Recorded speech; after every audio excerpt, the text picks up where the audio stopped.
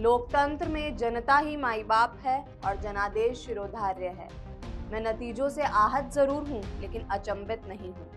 Congress party रिवाज बदल सकती थी, लेकिन अशोक गहलोत जी कभी कोई बदलाव चाहते ही नहीं थे। ये हार कांग्रेस की नहीं है, ये हार हमारे अशोक गहलोत जी की है। ना ही उनका जादू चला और ना ही उनका अनुभव। हर बार की तरह इस बार भी कांग्रेस पार्टी ने अपनी योजनाओं के ज़रिए चुनाव जीतने की कोशिश की। लेकिन इस बार भी कांग्रेस को अपनी योजनाओं के सहारे जीत नहीं मिल सकी। ये बयान किसी और का नहीं, अशोक गहलोत के ओएसडी लोकेश शर्मा का है। लोकेश शर्मा ने 2023 के विधानसभा चुनाव में कांग्रेस की हार का ठीकरा अशोक गहलोत के सर फोड़ा है। उन्होंने कहा, गहलोत ने लगातार तीसरी बार सीएम रहते हुए पार्टी को फिर से हाशिए पर लाकर खड़ा कर दिया है। गहलोत ने पार्टी से सिर्फ़ लिया ही लिया है, पार्टी को कभी भी कुछ भी दिया नहीं है। आगे लोकेश शर्मा ने कहा, ये जो नतीजे आए हैं, इनके बारे में मैं पहले से ही जानता था और मुख्यमंत्री को भी मैंने पहले से ही नतीजों के बारे में बता दिया था। लेकिन कहते हैं ना, सच कड़वा होता है और हर कोई सच को स्वीकार नहीं करता है। अशोक गहलोत ने कभी सच को स्वीकार नहीं किया।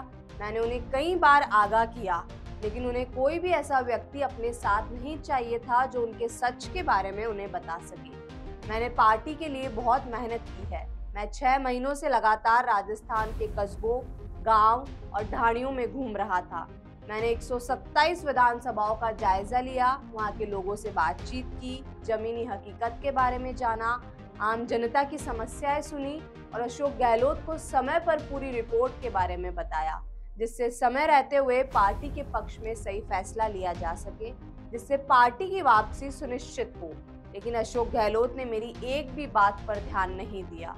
बता दें कि 25 सितंबर को जो घटना हुई थी, उसे लेकर लोकेश शर्मा ने गहलोत खेमे के विधायक की बगावत पर निशाना साधा और एक्स पर लिखा 25 सितंबर की घटना पूरी तरह से प्रायोजित थी, जब गहलोत ने आलाकमान के खिलाफ विद्रोह कर अवमानना की थी। उस दिन से ये सारा खेल शुरू हो गया था, जिसका परिणाम कल अशोक गहलोत को मिल गया है। अगर अशोक गहलोत चाहते तो सही समय पर पार्टी के लिए सही कदम उठा सकते थे, सही फैसला ले सकते थे, जिससे कांग्रेस की सरकार राजस्थान में रिपीट हो सकती थी। लेकिन ऐसा नहीं हुआ। अशोक गहलोत की वजह से पूरी पार्टी को कल राजस्थान में हार का सामना करना पड़ा है। बाकी देश और दुनिया की तमाम खबरों के लिए आप देखते रहिए द नगरी न्यूज़। मैं सिद्धिका मनोहर आपके साथ शुक्रिया।